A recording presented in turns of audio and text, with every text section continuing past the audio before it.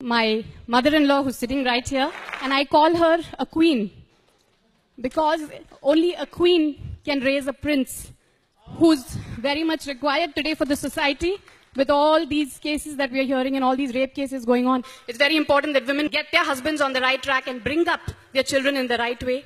So only a queen can raise a prince and her little son, she has raised him to be my Prince Charming because of whom I am here today. I very proudly say he backs me in everything I do.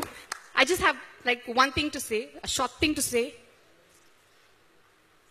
Fall in love, but rise in love also.